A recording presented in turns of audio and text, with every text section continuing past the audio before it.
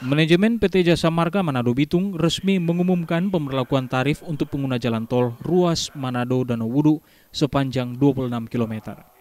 Tol ini sebelumnya beroperasi tanpa tarif sejak diresmikan oleh Presiden Joko Widodo pada 29 September yang lalu. Pemberlakuan tarif ini menyusul terbitnya surat keputusan Menteri PUPR nomor 1494 tanggal 14 Oktober 2020 tentang penetapan golongan jenis kendaraan bermotor dan besaran tarif tol pada jalan tol Manado Bitung, ruas Manado dan Wudu.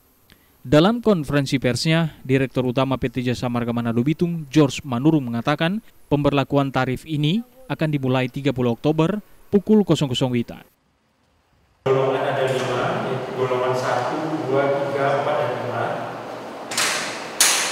5. Dan eh, tarifnya itu 1.111 rupiah per kilometer.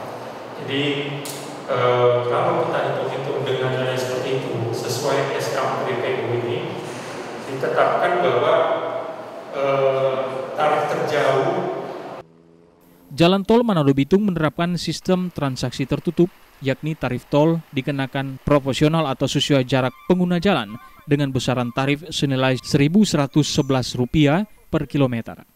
Selain itu, penetapan tarif juga memperhatikan golongan kendaraan, mulai dari golongan 1 hingga golongan 5.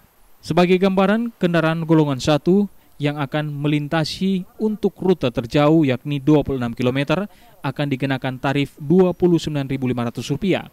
Sementara untuk lintas terdekat yakni gerbang tol Manado ke gerbang tol Air Madidi atau sebaliknya akan dikenakan tarif sebesar Rp12.000.